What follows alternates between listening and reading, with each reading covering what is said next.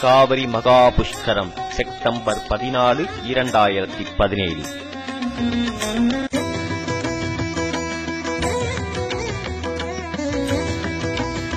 நம் ஆன்மீக வாழ்க்கையின் ஓர் அர்த்தமாய் பிறப்பின் பயனாய் அனுபவிக்க காத்திருக்கும் நம் ஆத்மாவுக்கு ஓர் விருந்தாய்.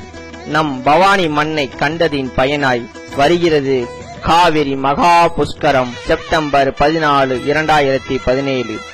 துலாம் ராசிக்கு பயிற்சியாகும் குரு பகவான் அந்த ராசிக்குரிய நதியான காவிரியில் ஜனிக்கிறார்.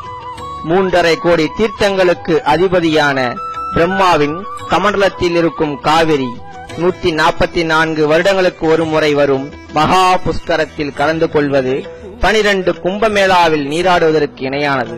பனிரெண்டு கோவில்களின் கும்பாபிஷேகத்தில் கலந்து கொள்வதற்கு இணையானது.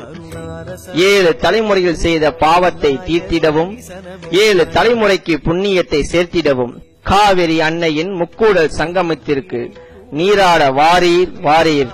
அழைக்கிறது காவிரி மகா புஷ்கரம் இரண்டாயிரத்தி பதினேழு செப்டம்பர் பதினாலு.